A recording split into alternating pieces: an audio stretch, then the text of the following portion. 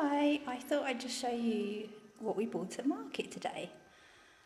Um, because it looks lovely when it's all freshly laid out, ready to put away. So,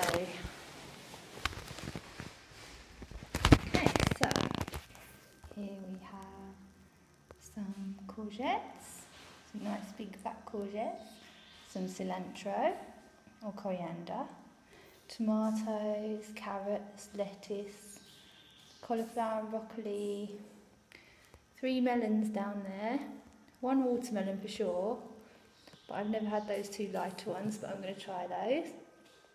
Some papayas, bunch of avocados for little bear, spring onions, peas, uh, nice bit of spinach there for our calcium.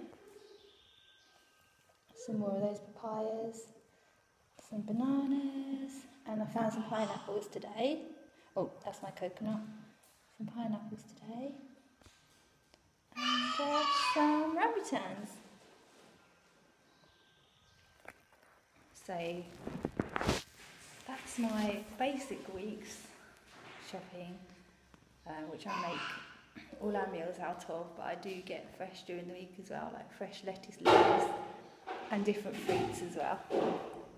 Okay, bye.